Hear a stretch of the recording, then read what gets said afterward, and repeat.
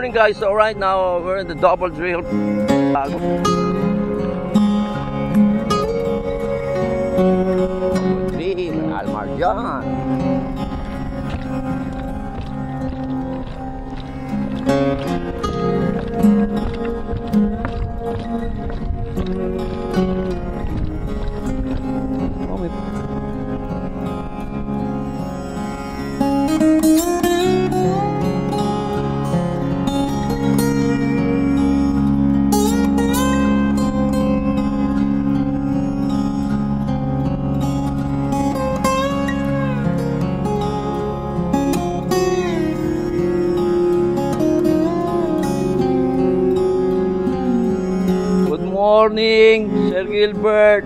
Wish you were here na lang.